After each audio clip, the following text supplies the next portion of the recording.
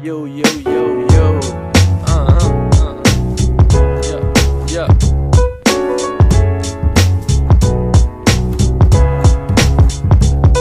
Ja ide reci mi koliko uopšte ovakvih ljudi ima Zašto je lakše preko Rima Alkohola, vutar dima Sa ortacima od malih nogu Još smo jedna družina o ljude kako im ulica hladno krvno dušu uzima Zašto je to tako ne znam ali upitam se često Niko Možda nastalo se greška Kako da prepoznaš prave stvari okružen ovim ludilom. Možda sve je povezano nekom zajedničkom sudbinom Usput čini mi se ono glavno se izgubilo. Cimanje sa matorima, zatvorima, murijom Dokle tako reci, dokle ići protiv svih?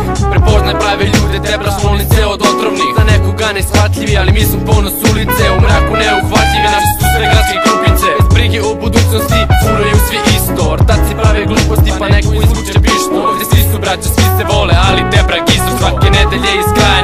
prevoze hitno. Niko god kursi dečko, znaj da neku će te mrzeti Moja duša živeće večno, znam da Bog će je uzeti.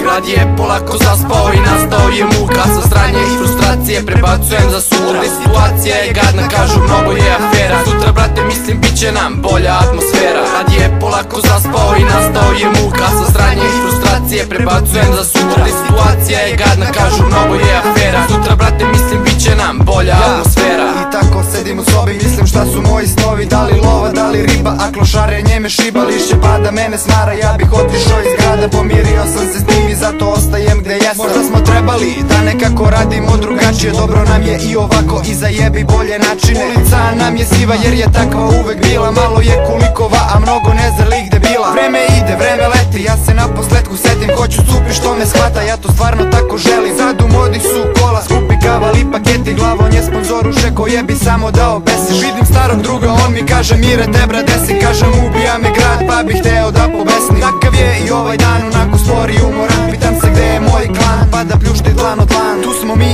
i dalje ko čuvari ove noći. Što nam nije išlo danas valjda sutra će nam proći. Možda nije tako loše meni sutra bit će bolje. Kad iznajmit ćemo drolje tada više nismo golje ha